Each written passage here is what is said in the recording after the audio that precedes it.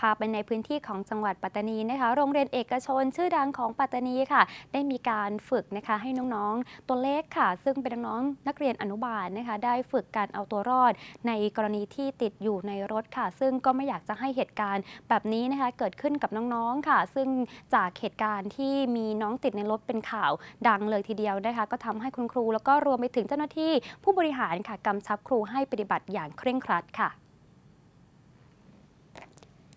ที่โรงเรียนอามนัสศักดิ์ตำบลบานาอำเภอเมืองจังหวัดปัตตานี นายจักริดวรสูตร ผู้รับใบอนุญาตโรงเรียนมานัสศักดิ์และครูค่ะรวมถึงน้องๆ หนูๆตัวเล็กๆเลยนะคะ ให้การต้อนรับทางบริษัทพิธานพาณิชย์จำกัดปัตตานีค่ะนำโดยนายอุสมานอาแวร์ผู้จัดการฝ่ายขายมาร่วมฝึกรับมือสถานการณ์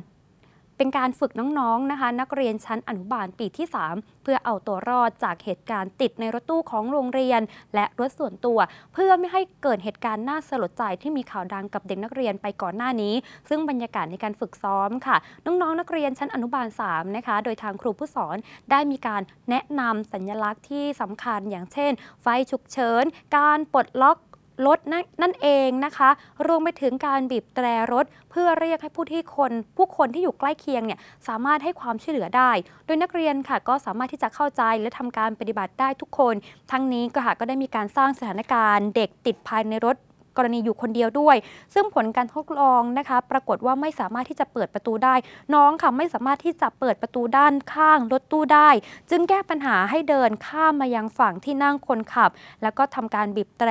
รวมไปถึงปลดล็อกประตูรถค่ะ จึงสามารถเปิดประตูออกมาได้อย่างปลอดภัย ผู้รับใบอนุญาตเผยนะคะ ว่าหลังจากเกิดเหตุการณ์เด็กติดในรถ ก็ได้กำชับไปยังครู ผู้ขับขี่และรอปภให้ตรวจสอบภายในรถอย่างเข้มงวด ขณะเดียวกันเพื่อไม่ให้เกิดเหตุการณ์ซ้ำรอยของโรงเรียนแห่งนี้ค่ะ จากเหตุการณ์ที่คุณครูนะคะเสียชีวิต 2 คน หลังจากขับขี่รถมอเตอร์ไซค์ออกจากโรงเรียนได้ไม่นานทำให้รถหกล้อค่ะ ทับจนเสียชีวิตก็กำชับเลยค่ะ ให้ครูทุกคน ปฏิบัติตามกฎจราจรอย่างเคร่งครัด ขณะเดียวกันค่ะทางด้านของนายมักกีลาดาเด ฐานะของผู้ขับรถรับส่ง แล้วก็เป็นคุณครูด้วยค่ะ ก็เผยว่าสำหรับเหตุการณ์แบบนี้นะคะเหตุการณ์ที่เด็กติดในรถจนเสียชีวิต ในฐานะของคนที่เป็นครู แล้วก็ขับ รถนะคะ ในการส่งนักเรียนด้วยเป็นเรื่องที่น่าตกใจ แต่วันนี้เนี่ยต้องมีความพร้อมในการที่จะรับมือ ต้องสอนเด็กค่ะ ในการรับมือกับสถานการณ์ให้ได้ ผู้ขับขี่ก็จะต้องตรวจสอบ แล้วก็ดูแลทั้งก่อนแล้วก็หลังเด็กขึ้นรถค่ะ ให้มั่นใจว่าเด็กไม่ติดอยู่ในรถและปลอดภัย 100%ค่ะ